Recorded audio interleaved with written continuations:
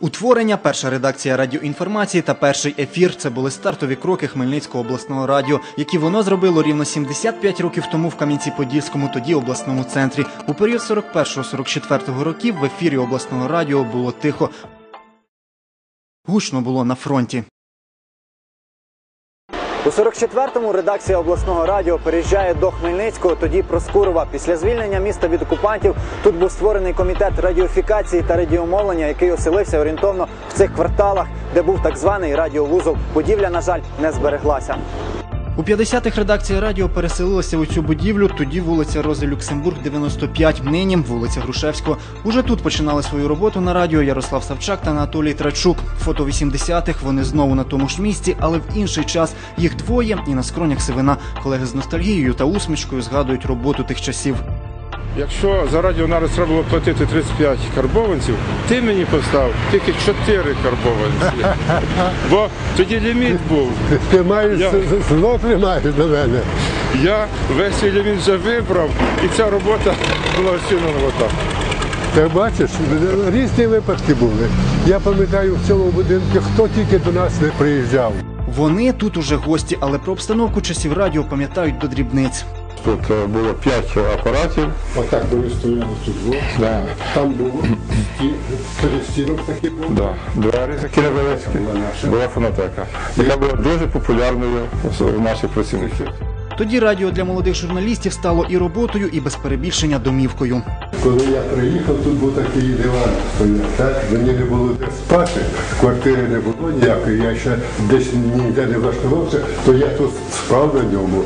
Все змінилося до невпізнавання, зізнаються журналісти новим господарям та дякують, адже затишок, як і тоді, у редакції залишився. Що за ці 75 років радіоефіру історія зберегла, а що змогла залишити лише на своїх неписаних сторінках? Приблизна відповідь тут.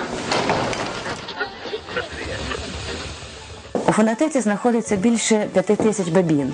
Е, На цих носіях е, записані дати, художня самодіяльність, музична, лірична, українські. І найстаріша запис датована 1953 роком.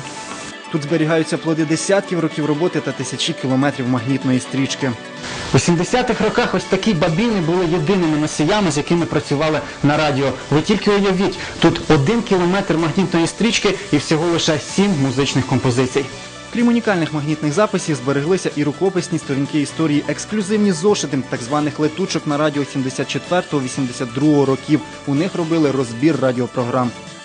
Особисто для мене було відкриттям, що раніше регулярно в пресі друкувалася програма радіопередач. В руках тримаю програму передач обласного радіо, яка друкувалася в газеті Радянське Поділля. Вирізки ведуться з квітня 67-го року. Відкриваємо 16 листопада 67-го року.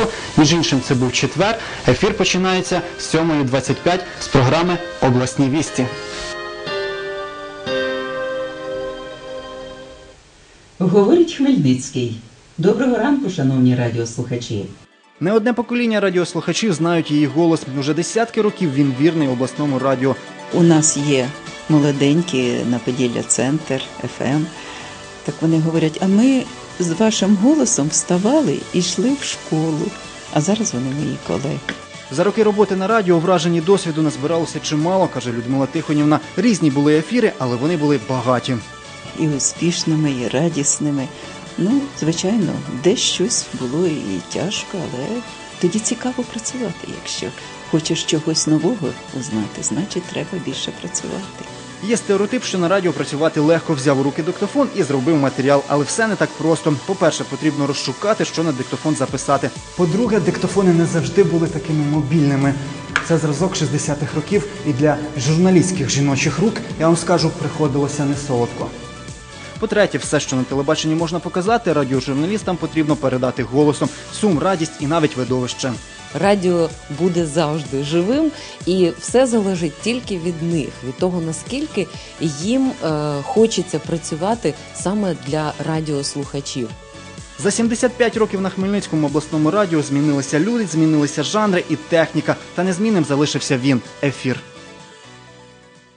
більше 30 років роботи на обласному радіо, ефір нормальний. 29 років роботи на радіо, ефір нормальний. 25 років роботи на радіо, ефір нормальний. Моїм колегам бажаю задоволення в роботі, адже радіо це король інформації. нев'янучого натхнення, завзяття в роботі, добра і пам'ятати, що ми працюємо для людей. Творчих здобутків, а найголовніше цікавих героїв наших матеріалів. Вдячних слухачів і гарних позитивних новин. 75 років обласному радіо і ефір ефір нормальний.